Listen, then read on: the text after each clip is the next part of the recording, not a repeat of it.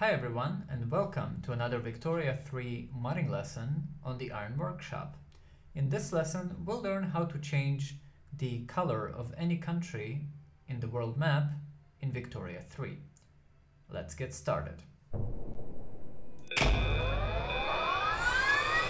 Our first step is to create a new mod in Victoria 3. Now I have a separate lesson for that in case you don't know how to do that. So go ahead and check that lesson and then come back to step number two. In step number two, we will be creating our folder and file structure, copying the relevant files uh, to be used in our mod. In step number three, we will be defining our new color in the game and in step number four, we will apply our new color to the country that we want to change. And of course, the last step is to test our new color in game and make sure that everything works. All right, so let's get started onwards to step number two, creating folder and file structure. All right, so after we've created our new mod, we can start copying the relevant files uh, to our newly created mod from the base game. So I'm going to open two folders here. The first folder is going to be the folder of my mod, and that one can be located in Documents, Paradox Interactive, Victoria 3 mod. And the second folder that I'm going to open is the root or the base game folder for Victoria 3.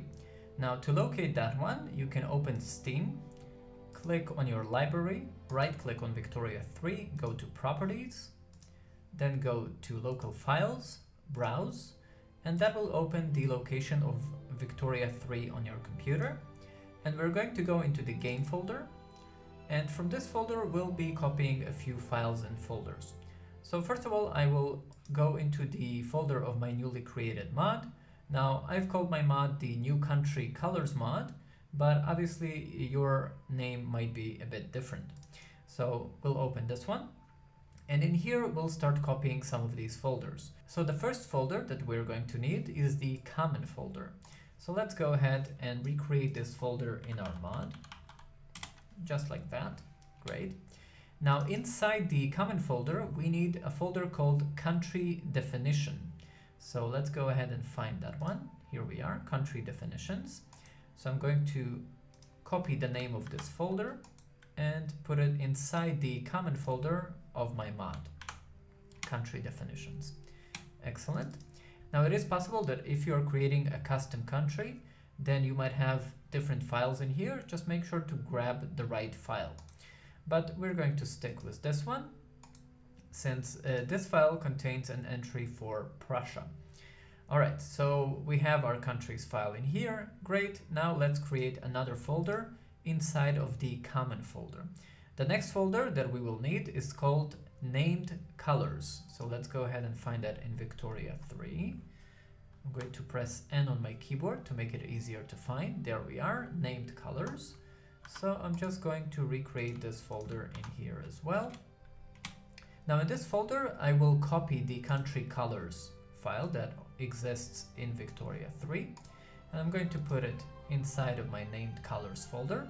And now I'm going to rename this file because I don't want to be overwriting the country colors file and that will make things much easier uh, when it comes to updates and fixes that the game might receive from Paradox because then you don't need to go and make changes to files that already exist in the vanilla game and your mod might be overwriting and causing some errors. You have separate independent files that make things much easier and flexible. So I'm going to rename this file to new colors just like that. Excellent. So we are actually done creating our folder and file structure. I'm going to close this. I'm going to minimize this. And now we will be moving to step number three, creating our new color definition. All right, so the next thing that we're going to do is to create our new color definition, basically telling the game what color I want to be shown for the country that I'm going to change my color for. So we are going to do a couple of things with the files that we moved from the base game.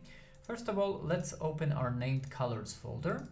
We'll open our new colors file and I'm going to open it in Notepad++. Now, if you don't have Notepad++, I do have a link to that in the description of this video, so make sure to download it uh, and use that to edit these files. Now, uh, as you can see here, we have entries that already exist for the base game, right? And quite honestly, I don't want to be overriding these. Uh, I want them to stay, but I just want to add my own unique color.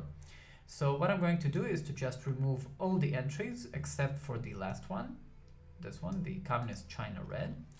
I'm going to remove all of these other ones so that it looks like this. Excellent. So now we can actually put the color for our country. And of course, what I'm going to do here is to recreate the yellow Prussia that we all loved in Victoria 2.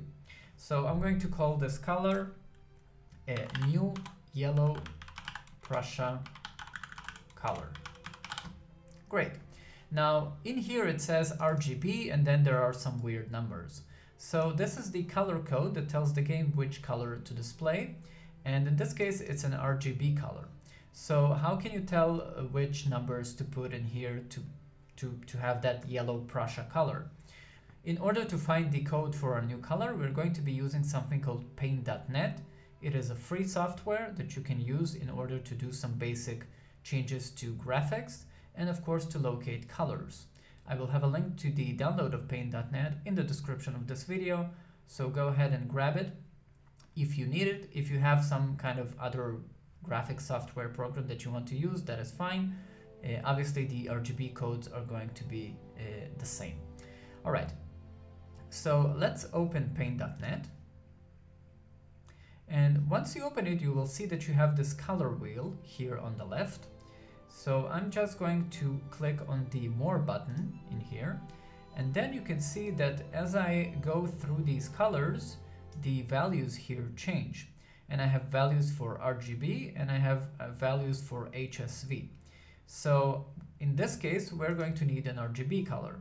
So what I'm going to do, I'm just going to place this here on yellow. This should be a yellow that I like. Maybe let's make it a little bit more more, more like this. Excellent. And now I need these RGB values. So the first one is red, green, and blue. So my red is 255. So I'm just going to replace it here and type the following 255 space. My next code is 233. So let's go ahead and type that. And my next color is 1, 2, and 4. So space one, two, four. Great, so now the game knows that new yellow Prussia color is the code of this color, right? And this is the color that it should display. Excellent. So that's it. We're basically done creating our new color. And of course, if you want, you can create a lot of new colors in here. You can actually use the base game colors as well. You don't have to create your new colors. But in case you're going for something unique, then you will definitely need to create your own and define your own color. Alright, so we can now move to step number four, applying our new color to our country. Alright, so now that we have our new color created, we need to apply it to our new country. So I'm going to open my mod. I'm going to go into the common folder, country definitions, and let's open this country's file. Now I want to apply this color to Prussia, so I'm going to search for the tag of Prussia. I'm going to press Ctrl plus F and type the tag, the three-letter identification of Prussia, which is PRU. Alright, so there we have it. This is the color that's currently defined for Prussia. And this is actually very flexible. Uh, I could actually type the RGB code directly in here instead of defining the color and then just putting it in here. But defining the color gives you a few advantages. It means that you can recreate the color without having to remember the, the exact RGB code, right? And it is also something that can help in the future in case you want to dynamically change the color in the game. Let's say when a country forms another country, you may want to change the color, right? So then you can use this code and tell the game, okay, now I want my country color to be new yellow Prussia color. And that makes things much more clear. So that is why we went through that step. So if you want, you can just copy this RGB value, these three numbers, and just type them in here and that will work fine. Or if you want to use the name for a new color, then you just need to copy it.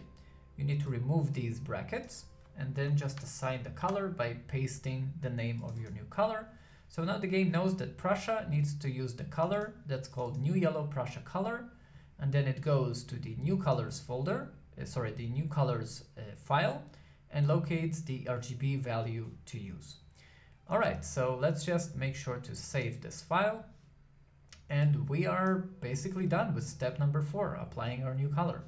Now let's go into the game and test and make sure that it works. All right, so let's test our new color in the game. So I'm going to start Victoria 3 through the Steam launcher. I'm going to make sure that my mod is available and that it's applied. So I'm going to go to add more mods. I'm going to use the new country colors mod, add to playset and make sure that it's enabled. Great, so now let's start the game and see what we get. Alright, so as we can see, Prussia now has the, well, arguably sexy yellow color that it had in Victoria 3, that it had in Victoria 2 on launch. And now we have our yellow Prussia. So congrats, this is all you need to know about changing country colors in Victoria 3. Thank you very much for watching this video. If you found it helpful, please give it a like so that others can see it as well. Subscribe to the channel to see more modding videos, and I will see you in the next one. Bye bye.